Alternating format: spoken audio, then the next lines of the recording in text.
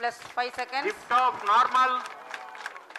इसरो ने मंगलवार को कहा कि चंद्रयान थ्री पृथ्वी की कक्षा से बाहर निकल गया है और अब चंद्रमा की ओर बढ़ रहा है अंतरिक्षयान को पृथ्वी की कक्षा से ऊपर उठाकर चंद्रमा की ओर बढ़ाने की प्रक्रिया को मंगलवार तड़के अंजाम दिया गया इससे चंद्रयान थ्री पृथ्वी की कक्षा से बाहर निकलकर ट्रांसलूनर कक्षा में चला गया और चंद्रमा की कक्षा की ओर बढ़ने लगा। उसे अब चंद्रमा की कक्षा तक पहुँचने में करीब पाँच दिन लगे। इसरो के पूर्व प्रमुख जी माधवन नायर ने सफल ऑपरेशन के लिए इसरो वैज्ञानिकों की टीम को बधाई दी।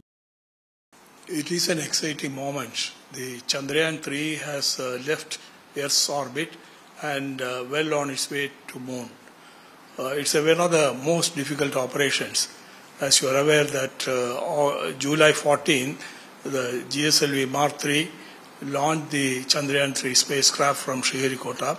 After a series of orbit tracing operations, yesterday night the spacecraft has been put on a slingshot mode, uh, aiming at the moon.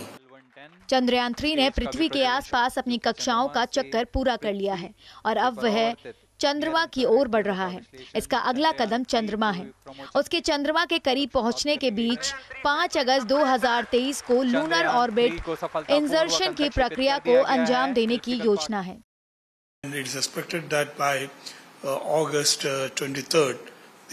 Critical, most critical soft landing. Uh, I'm really happy that uh, so far all the operations have gone with uh, textbook pre- precision.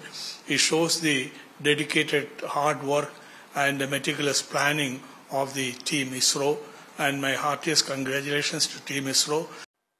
ISRO के मुताबिक translunar injection के बाद Chandrayaan three पृथ्वी की कक्षा से बाहर निकल गया और अब वह उस रास्ते पर बढ़ रहा है जो उसे चंद्रमा के करीब ले जाएगा चंद्रमा थ्री को 14 जुलाई को प्रक्षेपित किए जाने के बाद से उसे कक्षा में ऊपर उठाने की प्रक्रिया को पाँच बार सफलतापूर्वक अंजाम दिया गया।